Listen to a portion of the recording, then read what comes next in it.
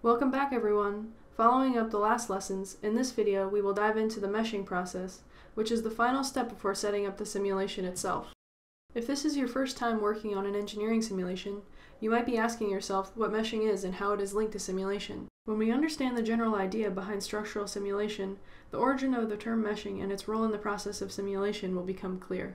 We will now take a step back and consider a simple metal cube. Imagine that you fix the entire left side of the cube so that it cannot move, and then uniformly pull on the right side. In this case, we can exactly calculate the force which is needed to reach a given elongation by multiplying the stiffness of the metal by the displacement.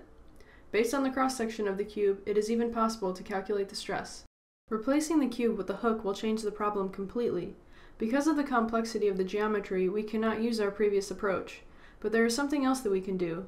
Instead of racking our brains to find an exact solution for the elongation of this specific hook, we can rebuild our hook from small cubes to compute an approximate solution. It seems too good to be true, but the fundamental idea behind structural simulation is to divide complex geometries into simple elements so that we can compute, or at least approximate, the solution locally and assemble this local solution into the global solution of our problem. This is in fact the reason why this approach is called finite element analysis. The elements can consist of tetrahedral, hexahedral, and pyramid elements. The results of a structural simulation highly depend on the quality of the mesh. Using finer elements will improve the accuracy of the simulation results by capturing small displacements or stresses in greater detail. At the same time, fine meshes are more computationally expensive, requiring increased memory and CPU time. It is also possible to increase the precision of an element without changing its size by using a more accurate element type. These so-called second-order elements can be very helpful for complex load cases. Now that we have discussed the basic concepts of meshing, the time has come to learn how to create a mesh from a CAD model. Now we will switch to the SimScale platform and learn how to create a mesh based on an example.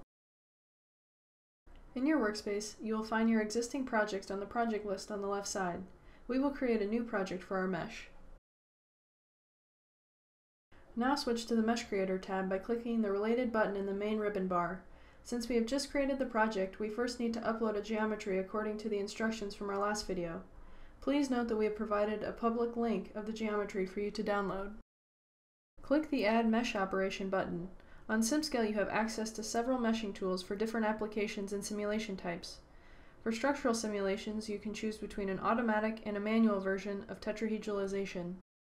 In this case, we will use the fully automatic tetrahedralization.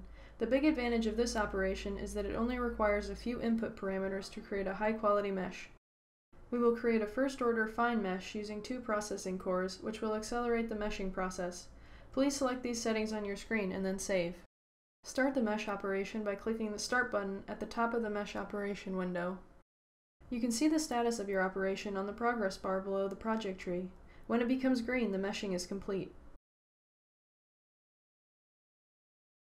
The progress bar is now green, so meshing is complete.